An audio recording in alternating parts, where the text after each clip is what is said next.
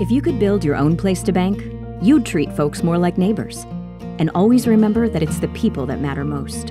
In fact, you'd probably treat them a lot like we have for more than 65 years.